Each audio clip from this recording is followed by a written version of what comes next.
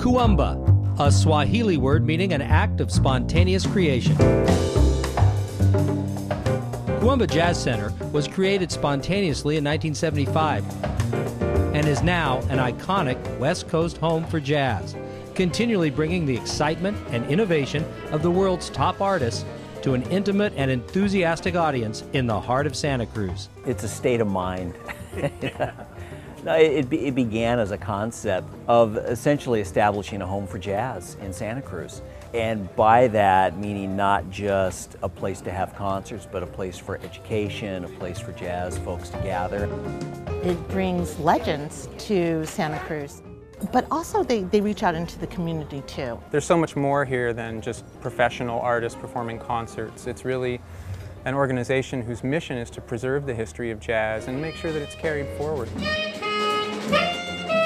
The effort to ensure a future for jazz and jazz audiences means growing a new generation of artists and patrons.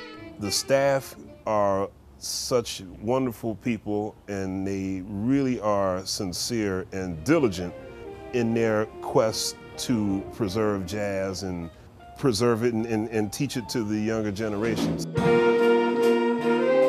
Kuumbwa Jazz Camp is something that I look forward, forward to every year. It's been uh, seven or eight years now. Terrell Eaton works with each summer's collection of up-and-coming jazz musicians. They're just on the music all the time. It's, it's all about the music and they just make amazing progress in two weeks.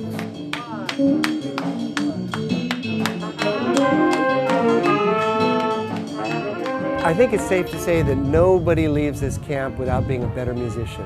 And you know, we run them through, we have them play through their scales every day, and we teach them new repertoire. They get the ability to play with other people, and that always brings them up. This is a relatively small community, and the impact that this club has had through educational programming is hard to fathom how huge the contribution really is. We've got kids going to school in New York, who are winning composing awards, they're becoming professional musicians in their own right. They're creating a legacy of jazz in this community that's visible worldwide. It's a tremendous impact. We've seen the evolution, we've seen generations uh, evolve and come and go, and so we realize our responsibility in building not only the musicians but the audiences for the future. It's very, very important to keep that going. There's still a lot of people who don't know about essential things. At the top of that list is art. So it's important to be able to pass this down to younger generations so we can keep creating more great minds. Investing in Kuumbwa Jazz is investing in our artistic community, the American art form, past, present, and future.